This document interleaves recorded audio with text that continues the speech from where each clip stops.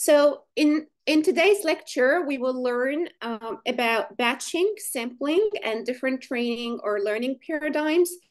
So uh, first, let's get started with a reminder here. So the batch-based training that we have in deep learning. So to train a model, uh, we aim, of course, to optimize an objective uh, loss function. And uh, through the optimization, we are able to get our optimal parameters W, so the optimal parameters of our neural network, whether it's a deep learning network or a GNN network. So to do the training, to perform the training, we can adopt one of the following uh, three training strategies, okay? So the first one is the stochastic gradient descent. So stochastic gradient descent, uh, we what we do basically, we uh, take each point, so this is a training point, and for each data point, we calculate the gradient of the loss at this point, all right, at this point, and then we update the weights. So what happens is that we're going to update the weight for each point individually. So we will loop over or iterate over all points one by one. And every time, each time, we will update our weights one by one, okay? So this is the uh, first uh, um, training paradigm where we do individual or independent sample training. Uh, and you randomly, actually, you can randomly select this training sample. So there are different ways of doing this. You can loop over all training samples if you have um, a small data set. But if you have many samples, you can randomly draw your individual points and you calculate or up update the parameters based on the randomly sampled points, okay? So uh, now the stochastic gradient descent has um, different properties. So first, uh, in uh, it's a single point training. Uh, so in single point training, we call it also stochastic training. Uh, each update is based on the gradient calculated from a single randomly chosen data point, all right? So here what we have, we have frequent updates. So the parameters W are updated frequently after every single point. So W, uh, the parameters of the network will be less stable uh, because we will have every time you put in a sample, you you're going to change the direction of your, your your w vector your final parameter vector. And this will destabilize your uh, training or the learning behavior of your model. And how can we see that? That actually reflects in the loss. So here you can see in the uh, stochastic gradient descent the loss function right here okay? So the loss function uh, it zigzags a lot. There is a lot of there's a change of directionality all like a constant change. So this it converges to the optimum but it takes a longer time because because of this zigzagging behavior and the fact that we are training on each sample individually okay so uh, we will have noisy updates so the updates can uh, be noisy so this will uh, lead to what we call an erratic convergence behavior. So as you can see here uh, in this figure, the purple uh, line, right?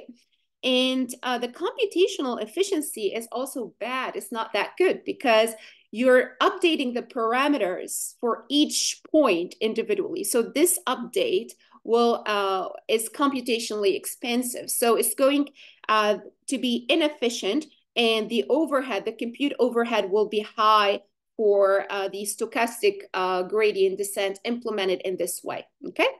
Now, a different option or a second or a better alternative, uh, well, better, we will discuss that, whether it's better, it's a, a better option or not, is the, the batch gradient descent. So what is the batch gradient descent? So in the batch gradient descent, uh, we use the whole data set to calculate the average gradient, okay? So the gradient is calculated for the whole data and uh, we update the W only once. So basically we take the whole training data, we calculate the average gradient and we update the weights of our neural network across all layers, right? Only once, okay? So this is, you know, one single batch, one single iteration defines an epoch, and then we're going to move forward and reiterate over and over again, okay? So, but we'll take the, the whole data set as a bulk and calculate the average gradient for the whole set as you guys can see here, okay? So now, what are the advantages or disadvantages of this method, the batch gradient descent? So there is a full usage of the data set. So in batch training, uh, the entire data set is used for each training iteration. Okay, so the model parameters are updated only once per epoch. So here an epoch is an, a complete pass through the entire tra training set, data set, and here we have a complete pass. So one batch is one epoch in this case, okay?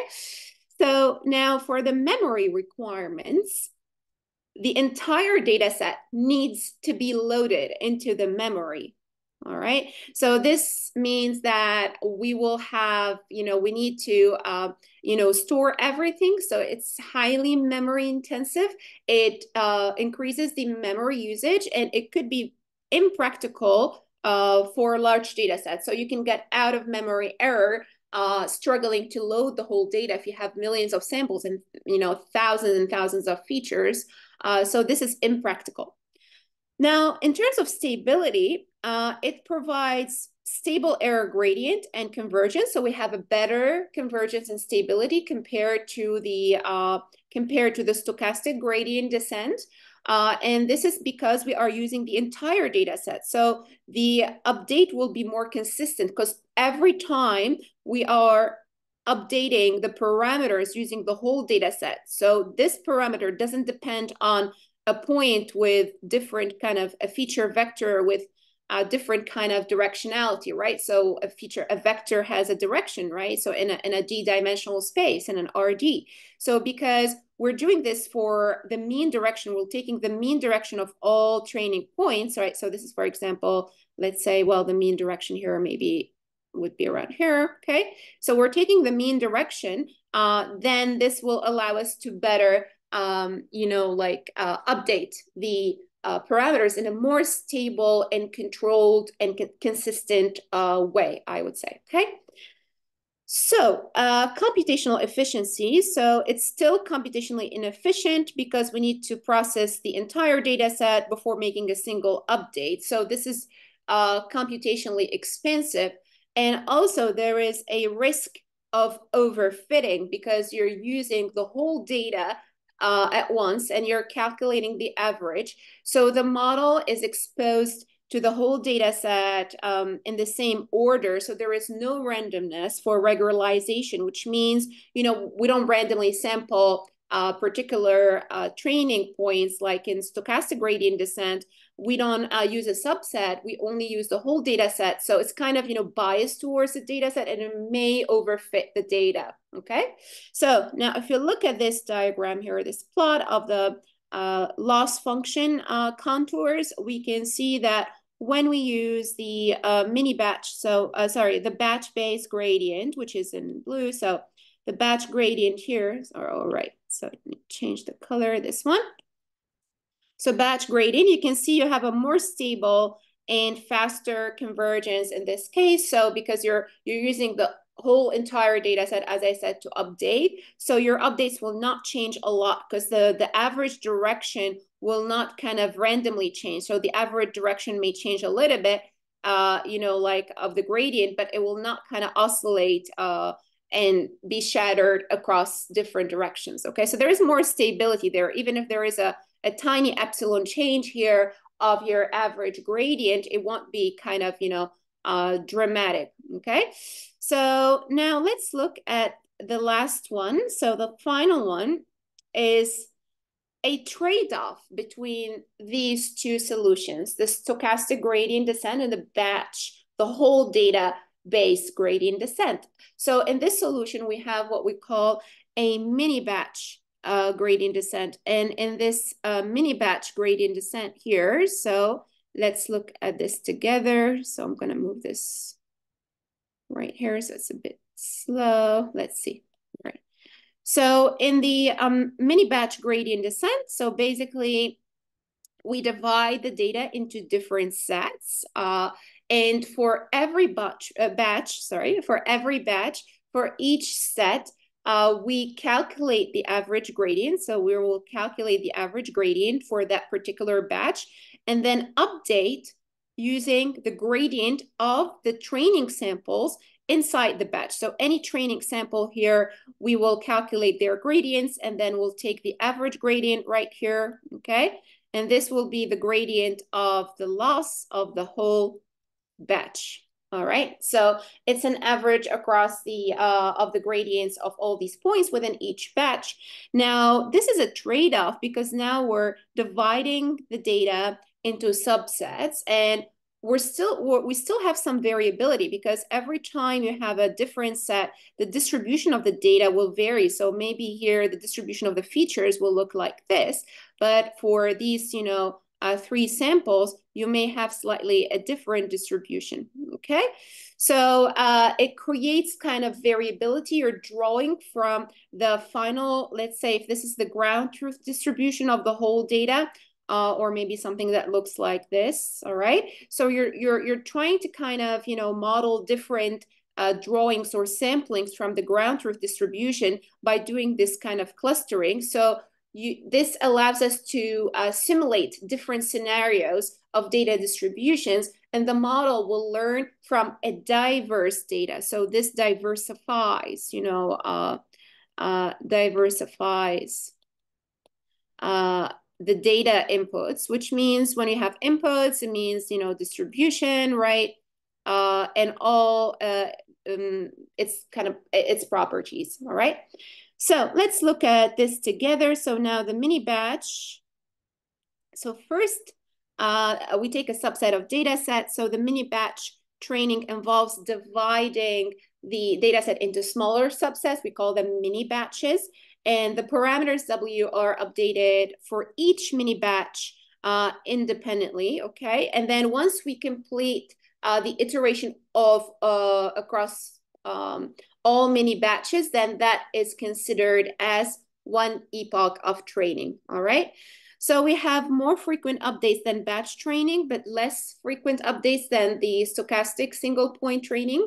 And in terms of memory, um, it requires, it is less memory intensive uh, than the batch gradient descent, the second option, and it is feasible for larger data sets. And in terms of convergence, we have balanced convergence because it strikes a balance between the stable convergence of batch training that we have here. So we have a nice stable convergence, right, uh, in this diagram. And then uh, the faster fluctuation versus the you know the fluctuate fluctuating slow uh, convergence of the stochastic trading. So you can see in this example when we have the mini batch. So the mini batch uh, gradient, it, it, it has some zigzagging, but it's more stable compared to the uh, stochastic gradient descent. Uh, it is faster, converges faster uh, than stochastic gradient descent, but it's a bit slower than the batch-based training. Okay, so it kind of strikes a balance between both extremes. And yeah, so that's mini batch uh, gradient descent. Now, in terms of computational efficiency, it is uh, more computationally efficient uh, compared at least to, you know, to um, the, the both options one and two, because here we can parallelize. We can consider, uh, we can calculate the gradient, do the updates of the W in parallel for all ba batches simultaneously. So these could be easily computed using GPUs.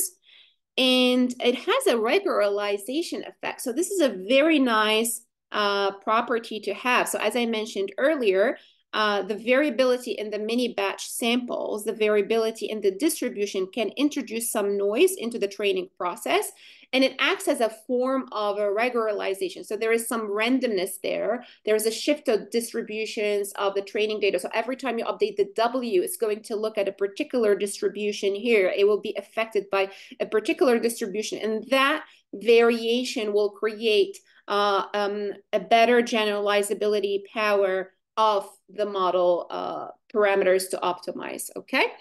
Now there is a hyperparameter here, which is the size of the mini batch. So the size of the mini batch, uh, it can affect the performance uh, and the efficiency of the training. So if you have you know, when you set the size to the whole data set, we go back to option two.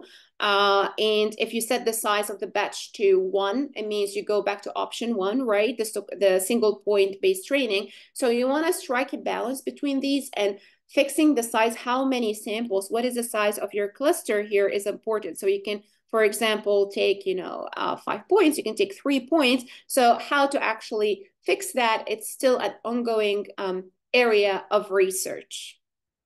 All right. So this was, you know, batch-based training or optimization or gradient descent using three different approaches.